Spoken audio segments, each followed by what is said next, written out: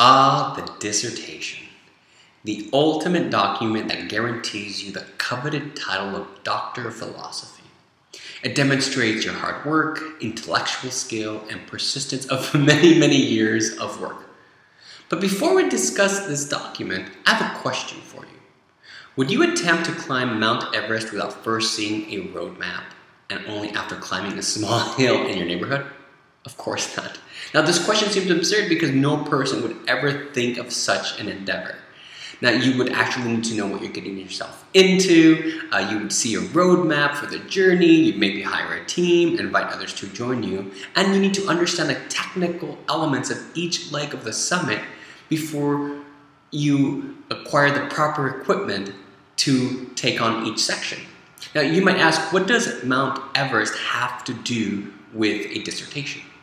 Now, in today's episode, I talk about how it's important to understand what the dissertation is before we even think about applying for grad school. And if you are in graduate school, it's important to put the dissertation into perspective.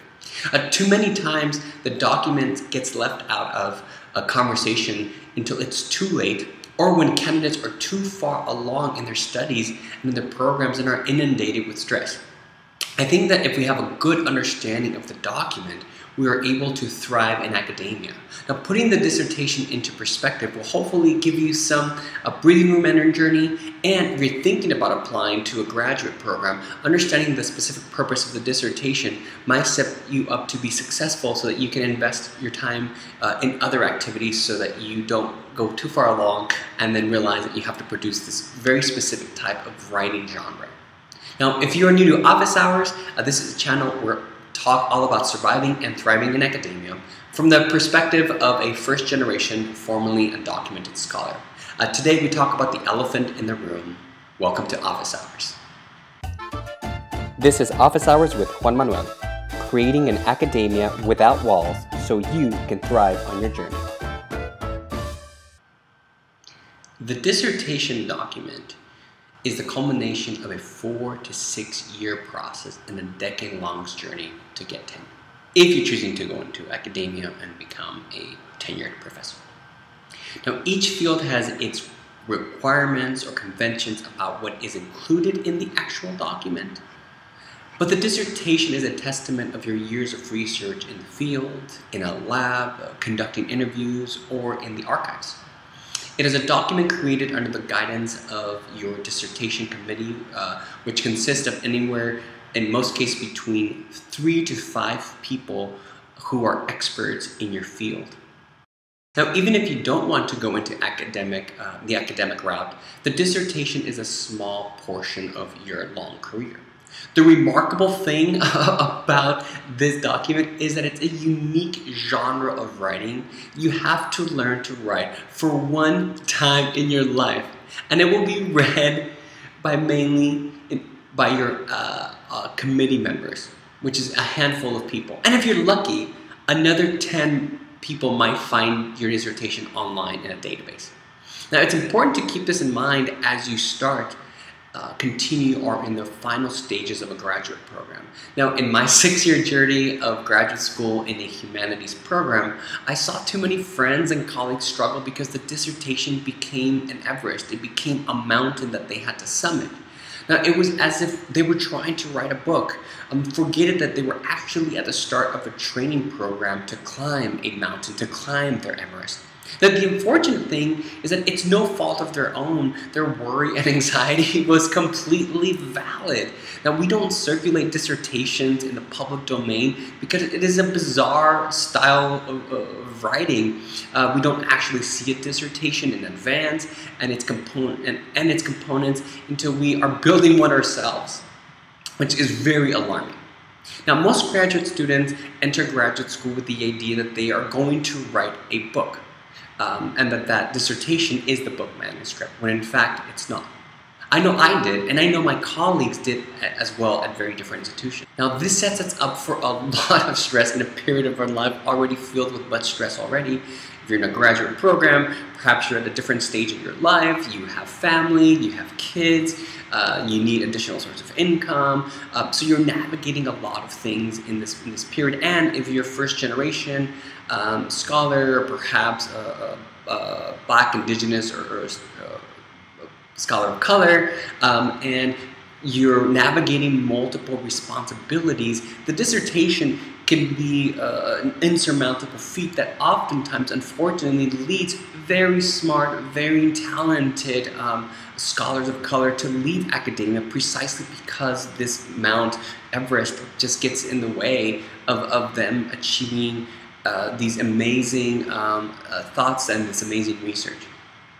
Now, I think it's important that we understand what the dissertation is um, to help us take a step in our career um, in academia or elsewhere. But in order for us to understand what that step would look like, we need to first identify how to read the dissertation, understand its components.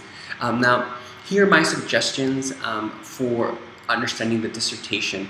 Um, and I would recommend you do this before you even think about applying to graduate school, um, or if you are already in a program and are actively in graduate work or are somewhere in the early stages of having everything but the dissertation, this is these are my recommendations for that you understand how a, a dissertation functions. For those about to start or thinking about applying to graduate school, I would recommend that you read at least three dissertations in your field.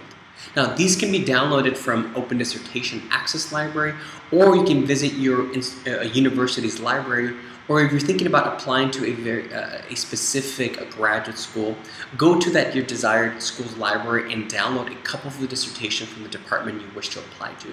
Now, looking into uh, these dissertations will actually give you an idea of what the students uh, produced in that program. It'll give you us an idea of the type of uh, tone. It'll give you an idea of the type of mechanics uh, that are included, the number of chapters. Now, break down those components for each of these documents. Think about how many pages are included in the document, how many words, how many chapters, how many references, what type of references, and also what were their methods. Now, there's always a methods section, and this is important because it will give you an idea of how research was conducted. This will give you a picture of the type of work that you might be doing or might be expected to do in that specific program. Also, look at the author's tone and are they writing in first person or third person? Now, how are they writing in relationship to the field's conventions of academic research? Now, by this, I mean that in some fields, it's very common um, to use the first person, uh, first person pronoun like I in their statements. In other fields, it's not. Now, this is important because oftentimes I saw a lot of peers struggle with the actual mechanics of writing themselves right? And if we understand a little bit of what, what's expected in our field, then we can understand or anticipate some of those challenges so that we don't confront those head on directly when we're trying to write the document. Ask yourself, can you see yourself doing that type of writing? Look at the writing tone, look at the structure, look at the number of pages, and ask yourself, can I see myself doing this type of writing? Can I produce this amount of, of, of work? Now, breaking down the dissertation to its parts, um, lets you know what it was to be successful for a person in that specific department um, to get their dissertation through committee. It's important to know that the dissertation goes through at least it goes through two rounds of, of complete revisions for the committee. Now, the committee is a team of scholars that you select to advise you during your studies, and they're going to be the ones who help you uh, shape and ultimately approve your project, you're entering into a conversation with these experts in this field, which can be very exciting.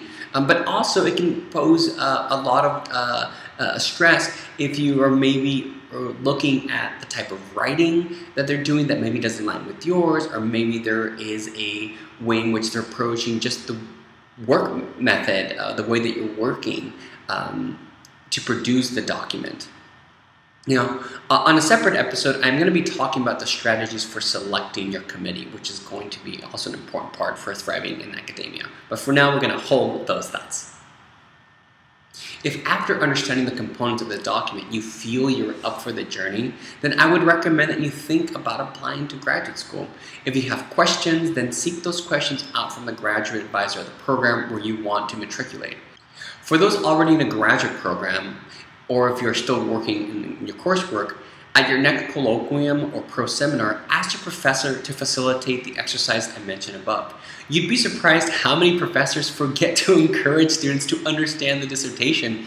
Most are so removed from the process of writing the dissertation that they forget that there's a specific convention to writing the document. They forget the, uh, the different components, the number of chapters, or even the, the front pages, the formatting of this document that is required um, in order for it to get approved.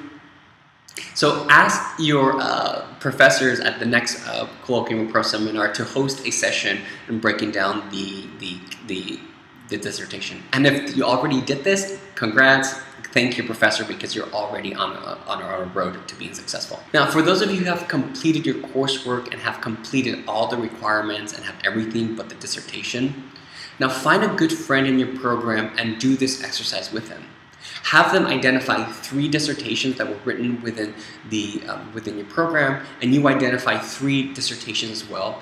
And go ahead and compare uh, what you found in those three different um, dissertations. Uh, look at the number of chapters, look at the introduction, look at the tone, look at the references, uh, did they include illustrations? And after you've done this exercise, discuss it with them. Now, I did this exercise with a good friend and colleague after we took our qualifying exams. Uh, we should have done it sooner uh, before we did that, perhaps earlier in the coursework, just so that we knew what we were going to do. If you take these initial steps to break down the dissertation and its components, you're going to be on your road to thriving in academia. Oftentimes we use the phrase, a good dissertation is a done dissertation, as a way to encourage each other to know that we should put the dissertation in perspective. And I think it's important to also recognize that we need to understand the actual components of the dissertation to know what a done dissertation looks like. So go ahead and take the time to break down the dissertations. And if you have any questions, go ahead and reach out to me, and I can uh, go ahead and give you even um, some of the components that were involved in my dissertation. Now, for those of you already in graduate work who have everything in the dissertation, go ahead and comment below and tell us what are some of the components of your dissertation. How many chapters are you thinking about writing or required in your uh, field? Uh, perhaps what is the tone of voice? And uh, maybe uh, what is the usual turnaround time um, for producing such a document? Now, tune in next time when I talk about that taboo R word in academia. Now, it's a topic that might be antithetical to graduate life and its constant demand for us to produce. I talk about the importance of carving out 24 hours of rest during your academic journey and how this is actually contributes to your productivity. Now, we need to cultivate a culture of rest to cultivate a culture of transformative research. So before I talk about what applying to graduate school looks like and any of the other uh, technical components, I'm going to spend a little bit of time in, uh, in, in situating the importance of rest in order for you to thrive in academia. Okay, I'll see you next time during office hours. This is Office Hours with Juan Manuel, creating an academia without walls so you can thrive on your journey.